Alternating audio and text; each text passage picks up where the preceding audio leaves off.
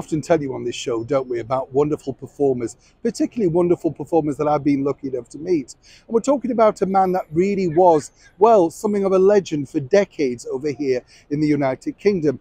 Known around the world all thanks to his spectacular success way back in the mid 50s as the host of Sunday night at the London Palladium, where he welcomed so many international stars to the stage, including Mario Lanza, Sammy Davis Jr., Nat King Cole. Sadly, many of those particular episodes have been wiped due to the fact that videotape back then was allegedly very expensive. We're talking, of course, about a man who created many of his own catchphrases. Nice to see you, to see you nice.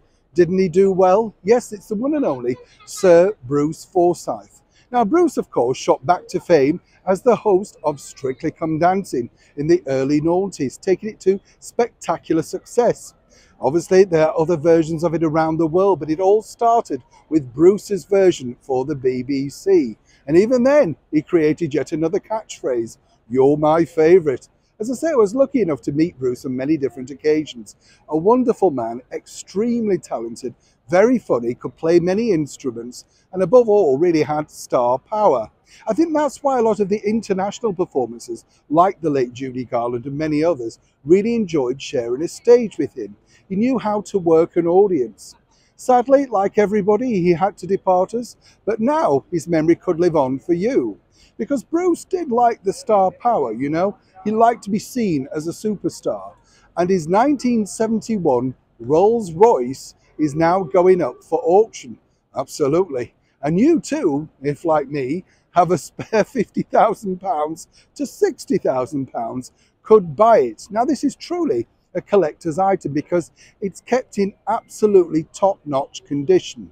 And I think people like that, don't they? And simply the fact of who it belonged to. But this is no ordinary Rolls, oh no. He squired around many leading ladies during his time in this particular Rolls, and more importantly, had many international superstars, of which he gave many lifts to.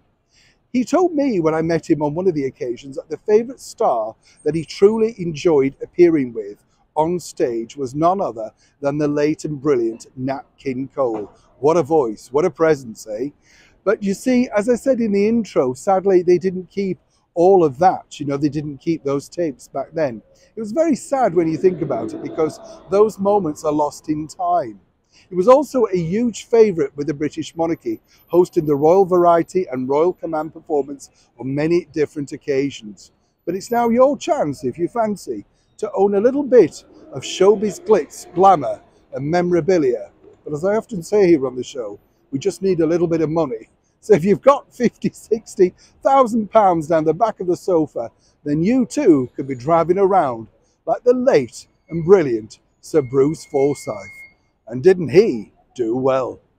Neil Sean in the very heart of London.